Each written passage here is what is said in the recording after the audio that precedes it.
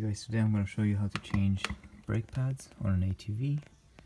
These ones are dirty, they're due on a service, and they're getting low. This side doesn't look too bad, but the other side is pretty bad. So stay tuned. Loosen the caliper bolts. This one. And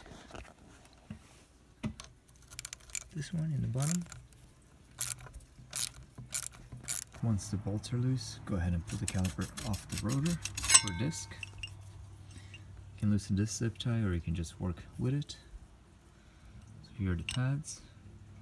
The fluid is because I was bleeding the system. We installed new brake lines on these. Open the master cylinder. This screw and this screw.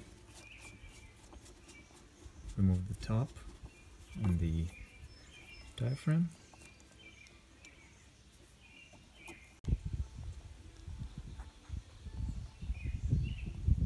Set it aside. Get our favorite tool.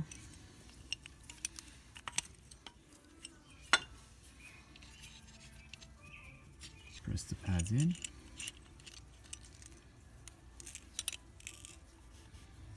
This pushes the piston in the caliper.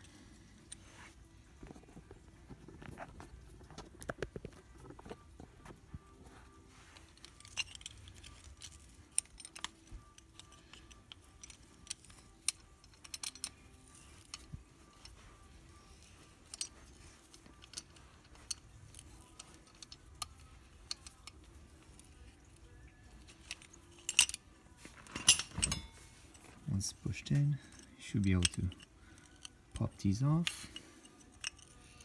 Okay, so there was just a little dirt stuck in there. I have to shake it and clean it up, and then you can move this part up and down. See that? So then you can't remove it because the pads are in the way. Push it in all the way, and then the pad should just slide out. There you go. so one pad out can see that there's barely no pad on it. Here's the new ones. There's quite a bit of difference. Pop this one, same thing, look. Just goes in, slides over. Remove the old pads. Take this bracket out. There you go. Clean it up. Clean this. Take your brake lubricant, put on these.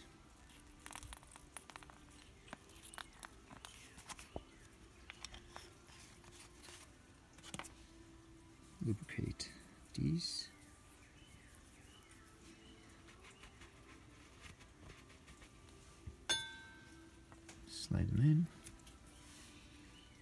Work them back and forth. Perfect. Install new pads.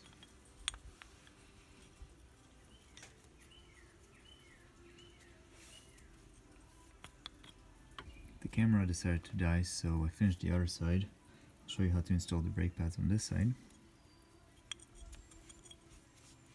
Hold the caliper in place. Put your new brake pad in.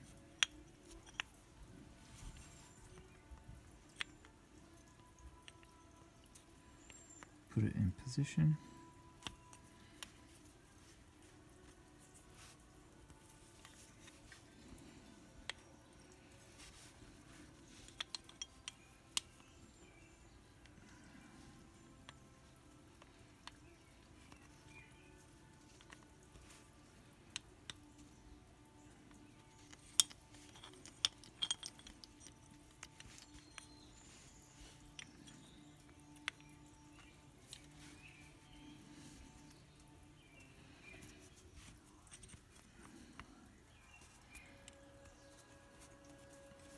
There you go.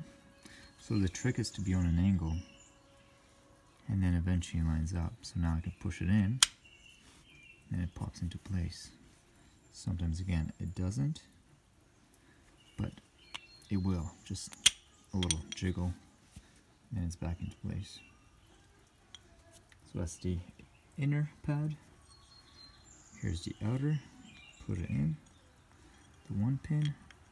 And again, you have to be on an angle. So low on one pin and then high on the other. And snap it into place. There you go. New brake pads.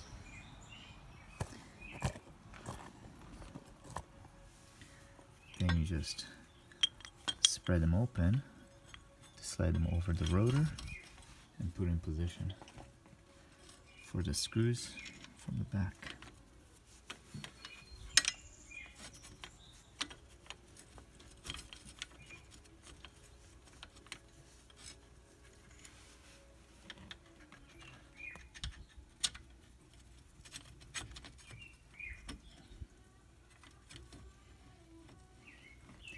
There you go, so the bottom is in, and then the top.